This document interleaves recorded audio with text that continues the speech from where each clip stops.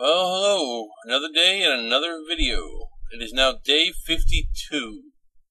Uh, today, once everything actually loads, today we're going to do something a little different. Um, I'm going to set out. I'm headed west, and I'm just going to keep going. Um, I mentioned before, I'm looking for something that's a little rare, at least in this seed it seems to be. Uh, and I don't mean clay, because clay is just exceedingly rare as of 1.66 in general, uh, because Notch somehow fucked it up, and now it only spawns whenever your uh, X and Z coordinates are matching numbers. So it only it only spawns in two diagonal directions across the map. So yeah, I'm not even gonna bother trying to find clay because that would just be ridiculous. You know, I know what grass is, but what is that? Like seriously, doesn't make any sense. So, anyways, I'm fully geared. Uh, I've got quite a bit of uh, deep holes. Uh, quite a bit of armor and I uh, some food on me, and I've got a full assortment of tools. And I'm going to go out and try to. What I'm looking for is a snow biome because I want some snow. Um, I have something planned. Uh, snow itself has no purpose. It's just an aesthetic, like anything, any other block. You know, one block is as good as another as far as it usually goes. But uh, I want snow, and uh, I don't have any around me, so I'm going to look for some.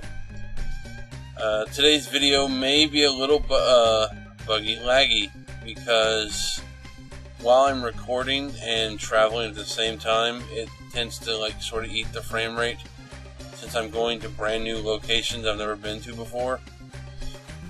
And since the game, I mean, Minecraft is like insane memory heavy to begin with and uh, with that in mind, it already, you know, eats up quite a bit of RAM. So when I try to record and travel and explore at the same time, it's just the computer's going, huh? So it's an interesting sh shaped object. The land formations there. Kind of fun once in a while just to go off exploring. Only uh, downside is the more you explore, um, like if you're gonna go exploring in Minecraft, go ahead, run around and explore. But whenever you're like done exploring, shut down the game and then reopen it. Like shut down completely, because you rack up an enormous amount of RAM uh, cost while you're exploring and then by shutting down and reloading, it just the game seems to function more coherently instead of just being a uh, a mass of horribly misplaced data. so hopefully we'll see some neat some neat sights. Looks pretty cool. Kind of wish I'd spawned near that thing. That'd have been an interesting thing to build around. Um,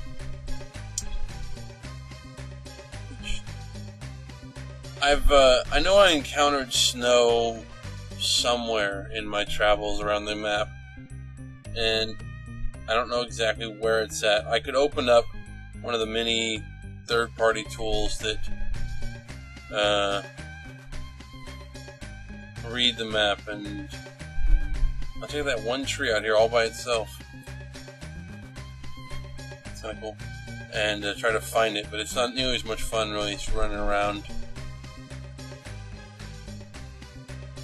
Cacti.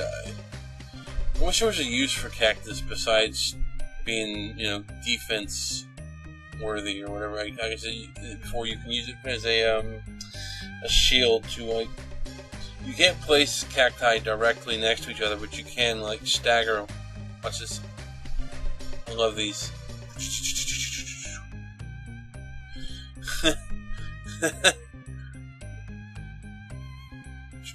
Whoa, that's pretty intense.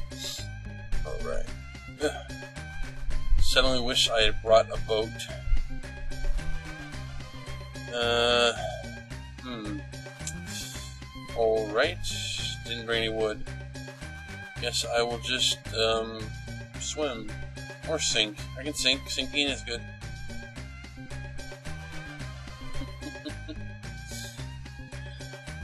uh, I like to do exploring. Um, it's one of the uh, the lost arts in games. I think. Like it used to be real common, especially in RPGs, but just in games in general, to have little bonuses, little Easter eggs for exploring, things you can find.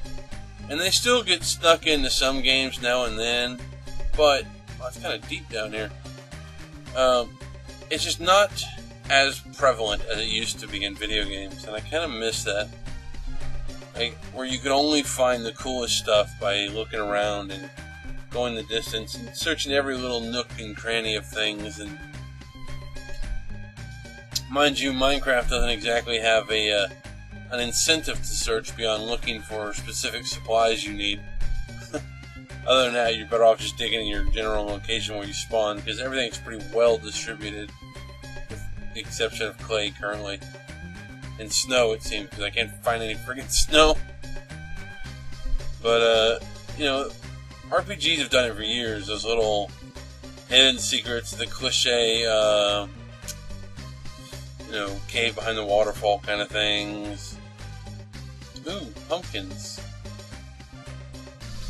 So, you know, I just, I think that's an important thing. It's, it's important to give players a reason to enjoy the environment in whatever game they're in. I mean, think of how many games you've played where you weren't rewarded for exploring at all. It was just you ran around, you you know maybe there were like little drops you could collect, but you weren't like you go find. Everyone's found that spot in a game where it's like, oh, this little nook would have been cool to have something, but there's nothing here. So, yeah. Nope. Sorry, I had to cut for a second there. My uh, uh game just froze and quit on me. Thankfully, it was uh, it saves a lot better than it used to. Used to be when you crashed and you were playing Minecraft, you would just like respawn, and any blocks you had altered wouldn't be there anymore. It was a good way to like spawn and find yourself like buried in the ground, and uh, that was always unfortunate. Ooh, the sun's starting to go down. Don't worry, I'm prepared for that too. I brought along supplies. There's um, several methods of survival when you're out running around. Um, I'm going to cover a couple different ones uh, during the course of this run, just so people have an idea of you know what to do when you're out and about, and you go somewhere and you suddenly find yourself in the dark, and you're like, well, what now? There, there, there are always solutions. You just got to uh, plan ahead a little. And even if you have to like improvise on the spot, you can still survive. There's always an option. I mean, dying in Minecraft shouldn't really ever happen. So, I'm going to build me a small little fortification here. Little 2x2 room. Just enough space to uh, survive the night.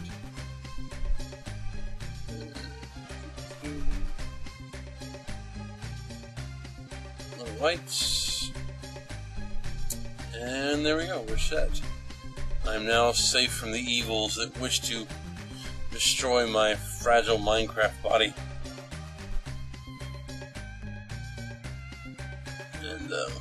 Need an escape hatch. Alright, there we go.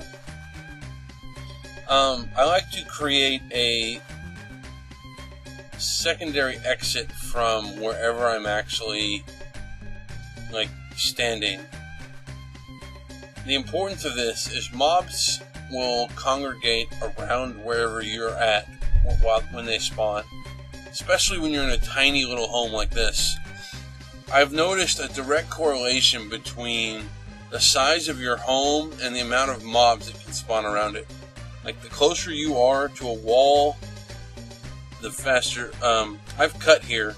I've uh, was talking to you, didn't probably even notice. see, it's daytime now. But, you know, there's a small difference between a speedy escape and I'm being attacked by something. So it's not always perfect. It wasn't a very far away hole, but, uh, well, whatever was attacking me, it's gone now. Oh, there it is. Well, I'm not going back for you, Mr. Spider. I got walking to do. But yeah. Just, you know, it's a simple thing like that. Just a tiny little home, just a place to stop and rest. Can, uh, that water's lower than sea level. Cool. You don't find that too often. Ooh, more pumpkins. I wish these had a purpose. Uh, you can combine a pumpkin with a torch and it turns it into a jack-o'-lantern, which makes a relatively interesting light source. Um, there's a lot of really great texture packs that'll like make like a paper lantern out of a pumpkin instead. So when you light it up, it becomes a paper lantern. Or it, I mean, the model would still be a paper lantern even without it, but because the only part that lights up is the face lights up, but the whole thing emits light. So, so it works as like an art, you know, an extra block to use for that sort of thing. If you want to, you know, a little decorative touch to your lighting. And plus, it can be flush in a wall, so that's kind of handy. Um, you can also wear one as a helmet. Uh, it has no armor value at all, so I'm assuming it doesn't break either. But uh, one of those kind of funky things to do, just to see your character run around with a pumpkin on his head. You can play Pumpkin King and disappoint Linus. Uh, thumbs up if you get that reference. Um, I don't mean hit the like button. I don't give a shit if you like my videos. It doesn't bother me at all. I'm not one of those people. I just think it's kind of cool if you can catch that. It's an odd shaped bunch of land. More Water under sea level. Hmm. Come on, snow. Anytime now. You can cover quite a bit of distance in uh, a single day in Minecraft. Um, I don't know what your speed is in game, like how fast he walks, but I know each block is a meter, so I'm assuming you can cover probably about, let's say, a thousand meters, a thousand blocks in a day, give or take, probably like a full kilometer. That's what I would think. Um, any more seems unlikely. Um, if I don't find snow on this voyage, I will head out east during the next video, and I'll take my boat, which should, uh, the boat actually moves faster than you do, so it's a little more advantageous, at least. Let me phrase that, the boat moves faster through water than you do. I don't know if it's actually faster, period. I think it is, but, you know, I can't say for certain without checking it out. Since the Minecraft forums have been down all friggin' day, and the wiki is tied to the same company that runs the forums, I can't check. I'm never check any kind of stats lately. It's annoying. It's one of those reasons you shouldn't ever put all your all your eggs in one basket. If one company has control over everything, that one company goes down, and suddenly you lose it all. I mean, Minecraft.net still works because that's run directly by Mojang, but Mojang, Mojang, whatever they're fucking called. But, uh, yeah. I like to explore. Uh, this is, you know, it doesn't have the same reward factor as finding little fun items, but it does, you know, there's a lot of interesting landscapes that can be discovered. that's the real payoff for exploring in this game. It's just, you know, new land. Just to see what the world generation algorithm has pulled up. So deep and dark.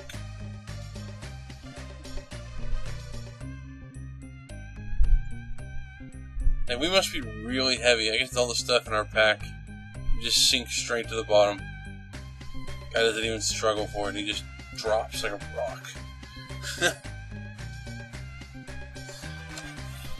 I want to. Uh, I've been working on trying to build a, uh, an, a, a game of my own for years, and I recently took up um, an RPG Maker title called RPG Maker VX, and it's this you know the stupid man's version of creating a 2D RPG. Basically, it's got a lot of extra preset tools versus the last PC version that came out, and uh, hopefully I can actually get ahead and get something done. So I'm trying to build off a preset idea I'd had on an old RPG. Hey, a mushroom. An old uh, scenario that I'd wanted to play out uh, story wise. So it was something I started years and years ago back for the old PlayStation 1 RPG Maker. So with any luck, i am just trying to do slow progress. I'm not setting any goals or setting any time limits. I'm just trying to go around. I totally lost track of which way I was going. Um, and I'm just going to go and see what I can get done. Um, with any luck, you know, I've completed one map so far, and uh, I'll start working on others and laying down the event work and some of the story. With any luck, I'll be able to get some progress done, uh, and it'll hold my interest long enough for me to continue getting progress done. That's the real part is, is, is getting progress continually done. Like I can start anything, but finishing something that's that's often pretty hard for me, just because I get bored. Um, it's not that I can't finish it; just I get bored. I'll admit it. I'm I've got way too much of an ADD problem, and I'm like, eh, I'll move on to something else. And some of my boredom arises from my perfectionist problem. Like I want everything to be perfect, and it won't be perfect, and the idea of fixing it or adapting it to the system just floating islands uh, kind of irks me sometimes. And that'll I'll get distracted and look into other things. I'm like eh, I don't want to do this anymore. So I'm trying to try to avoid that this time around hopefully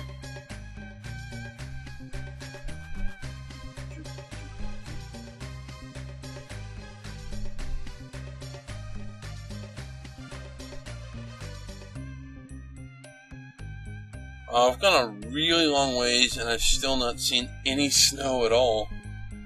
This is absolutely ridiculous. I've got the other type of grass, but I don't have any snow. Uncool. Today's music is by the Steinier Dominique. And it is hell if I know, some sort of weird uh, type of tune that I'm not even familiar with. But uh, I thought it was kind of interesting sounding, so I picked it. Uh, it's a little repetitive now listening to it, but uh, it's still not awful, and it, it serves its purpose. So, hope it's not too distracting, and you get bored. Um, Looks like I'm not going to find any snow. Nice shadow error there. It's great. Uh, something spawning or spawning, loading the screen's background.